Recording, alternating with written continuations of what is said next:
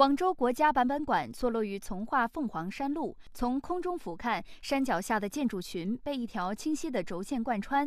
一桥一亭一池一阁依次排列，井然有序。在文庆亭中放眼望去，视野开阔，水面一角置有一方砚台，水中还有一抹绿色的倒影，特别吸睛。这就是已经有两百多岁的二级格木古树。广州国家版本馆以中华典藏、岭南山水、时代星韵、文明灯塔为总体设计理念，对岭南传统建筑工法进行了现代化转移。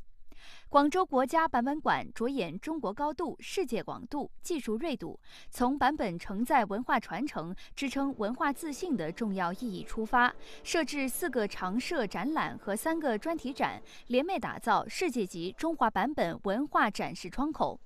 其中，伟大时代的印记——改革开放以来精品出版物专题展中，重点展示改革开放以来，特别是党的十八大以来取得的辉煌成就。在这里呢，展示的就是一九七八年改革开放以来我们的一些重要的文献和版本。那比如说，这张报纸是当年的《人民日报》，它发表了“实践是检验真理的唯一标准”。然后呢，在全国上下引发了一场关于真理标准问题的大讨论，形成了解放思想、实事求是这样的一个热潮好，开启了整个改革开放以及呃中国的这个发展的新阶段。